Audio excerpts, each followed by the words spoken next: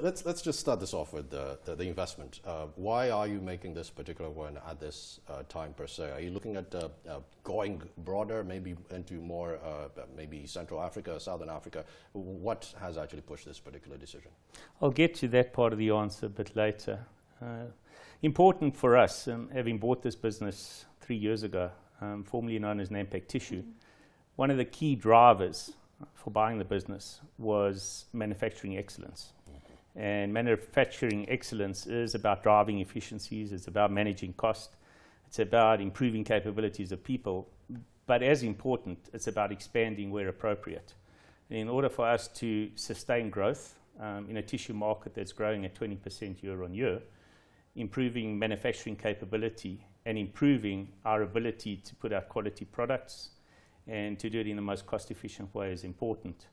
Coming to your question about sub-Saharan Africa, one of the first things we did some 18 months ago was a feasibility study across sub-Saharan Africa to identify where opportunities might exist beyond South Africa. Two of those opportunities presented themselves, the Southern African Development Community and East Africa. And we were able to supply and currently do supply um, Southern African Development Community nations such as Namibia, Botswana, Zimbabwe, Zambia, Malawi, with product that we manufacture out of South Africa. However, as you might or might not know, tissue is a very expensive commodity to be transporting long distances. Mm. And it stops at around Malawi being cost effective. And therefore, you need to be moving manufacturing or converting facilities mm. closer to market. So, East Africa is definitely on our radar because we want to be establishing not just a South African manufacturing footprint, but hopefully in time a sub-Saharan, sub-Saharan African footprint. Mm. I mean, this is a very significant investment, and I think one of the questions that are important to be asking in our current economic landscape is the skills development, employment opportunities that are created out of investments such as this. You're correct, and important from an investment perspective was our ability not just to sustain our own growth, but in terms of manufacturing being such an important part of South Africa's gross domestic product, I think it's around 14 or 15 percent. Manufacturing was identified as a multiplier in the National Development Plan. And being a multiplier, it's important for us to, to invest locally, to create those job opportunities. It's this type of investment climate that is deserving of investment from corporates like ourselves um, that in itself addresses the issues around unemployment and our ability to grow people's capabilities. This particular investment enabled us to bring 16 people into our organization from various institutions, Durban University of Technology, the various uh, universities around the country, with BTech and uh, chemical engineering degrees. So we've created those opportunities for young graduates to come in, learn about the tissue industry, but also to acquire knowledge and experience in a facility like ours.